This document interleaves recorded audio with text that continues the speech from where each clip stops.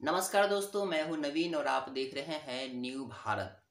बिहार में विधानसभा का उपचुनाव होने जा रहा है। आप जानते हैं कि बिहार में एनडीए की सरकार चल रही है, नीतीश कुमार मुखिया हैं मुख्यमंत्री हैं और ऐसे में भाजपा, जेडीयू हम और वी आई ये ती चारों मिल करके सरकार बनाई है। लेकिन उपचुनाव में जो है वह बीजेपी और वीआईपी में काफ़ी टकराव की स्थिति बनी हुई है। ऐसा लग रहा है कि एनडीए शायद टूट जाएगा और नीतीश कुमार को अपने पद से इस्तीफा देना पड़ सकता है। क्योंकि मुकेश सहनी फिफ्टी फिफ्टी का जो है वह ऑफ़र दे रहे हैं, खुले तौर पर तेजस्वी यादव को कह रहे हैं कि यदि सहनी हम, यदि यदि उनको मुख्यमंत्री बनाया जाता है तो वो जो है वह ढाई साल तेजस्वी यादव को बनाएँगे और ढाई साल खुद बनेंगे। ऐसा कहीं ना कहीं वो बता रहे हैं और कई बार ऑफ़र दिए हैं, ऐसा देखा गया है कई बार उनको वीडियो में। लेकिन मुख्य बात जो है वो ये है कि मुजफ्फरपुर विधानसभा क्षेत्र बोचहा से जो 2020 में विधानसभा का चुनाव हुआ था, उसमें सहनी जी ने, मुकेश सहनी जी ने अपना प्रत्याशी, बीजेपी ने अपना प्रत्याशी मुकेश सहनी को दिया था उतार और वो जीत करके भी आए थे। उनका नाम था मुसाफिर पा, पासवान जिनका निधन हो गया था इसीलिए वहाँ पर वो सीट खाली है जिसको लेकर के उपचुनाव होने जा रहा है। और ऐसे में भाजपा जो है अपना प्रत्याशी उतार दिया है। लगातार मुकेश सहनी जी ये कह रहे थे कि ये जो है हमारी नाक है प्रतिष्ठा का सीट है इसलिए ये सीट जो है वह वीआईपी को मिलनी चाहिए। लेकिन वीआईपी को सीट नहीं दिया गया है और भाजपा ने अपना प्रत्याशी उतार दिया है। मुजफ्फरपुर के सांसद अजय निषाद जी लगातार कह रहे थे, अपनी पार्टी का पक्ष रखते हुए बता रहे थे कि ये सीट जो है, वह भाजपा को ही जाएगी और यही हुआ है जो भाजपा कह रही थी। और अब बीजेपी ने बेबी कुमारी को भाजपा का प्रत्याशी बना दिया गया है, जिसके बाद कयास लगाया जा रहा है कि अब गठबंधन की सरकार जो है वह ज़्यादा दिनों तक नहीं चलेगी।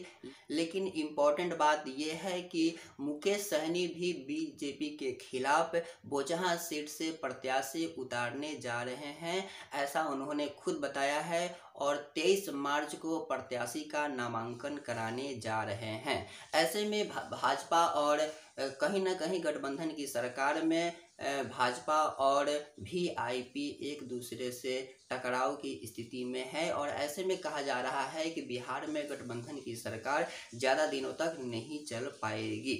वही माझी जो है, वह मुकेश सहनी के पीछे पीछे चल रहे हैं। खुल करके वह नहीं बता रहे हैं, लेकिन मुकेश सहनी की बातों में हामी भरते हुए ज़रूर नज़र आ रहे हैं। और मुकेश सहनी जो है, वह बार बार जो है, वह तेजस्वी यादव को ऑफ़र देते हुए भी नज़र आ रहे हैं। ये कह रहे हैं कि ढाई ढाई साल की साल साल की सरकार बनाने पर अगर तेजस्वी यादव राज़ी होते हैं तो हम उनका खुल करके समर्थन देंगे।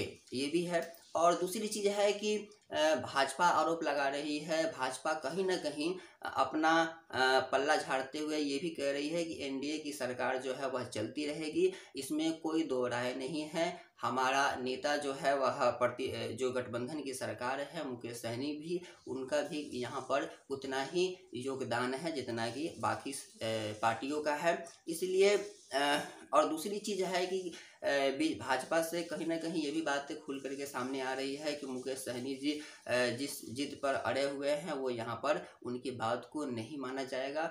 और कहीं ना कहीं मुकेश सहनी भी ये आरोप लगाते हुए नज़र आ रहे हैं कि चूँकि यूपी में हालाँकि गठबंधन नहीं था इनका, लेकिन यूपी में तिरपन सीटों पर इन्होंने चुनाव भाजपा के खिलाफ लड़ा हुआ था। इसके वजह से भाजपा जो है, वह बिहार में बदला ले रही है, ऐसा मुकेश सहनी जी कह रहे हैं। एक मुख्य बातें आपको और बता देते हैं कि भाजपा लगातार ये भी कह रही है कि मुकेश सहनी यदि एनडीए तोड़ते हैं तो उनका जो विधायक है, वह भाजपा के संपर्क में है। जी हाँ ये जो है, वह बहुत बड़ा दावा है भाजपा की ओर से और मुकेश सहनी के लिए खतरे की घंटी बताई जा रही है।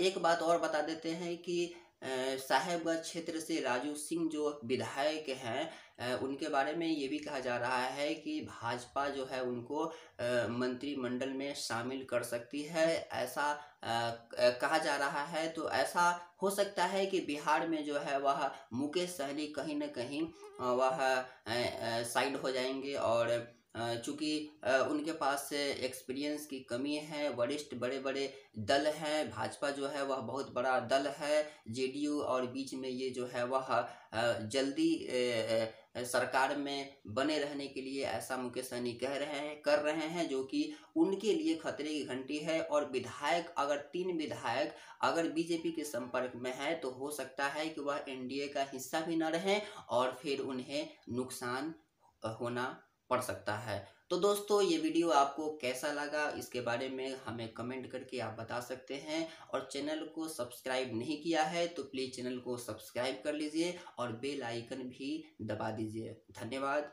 जय हिंद।